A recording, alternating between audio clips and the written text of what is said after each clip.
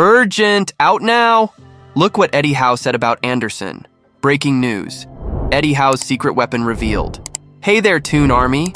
Marcus here, and it's time for some exclusive Newcastle United news that you won't want to miss.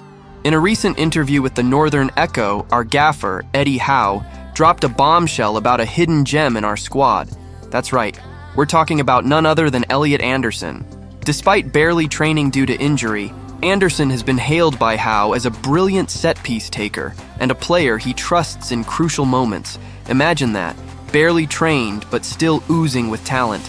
But hold on to your hats, folks, because it gets even better.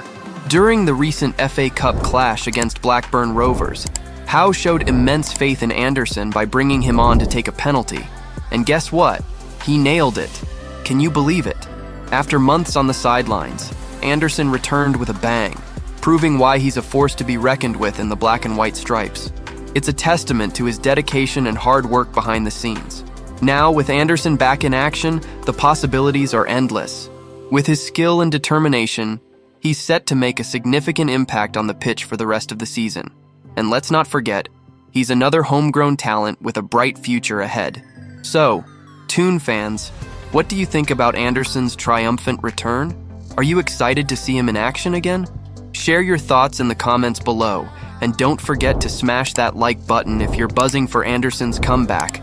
Let's show our support for our lads in black and white. Howay the lads.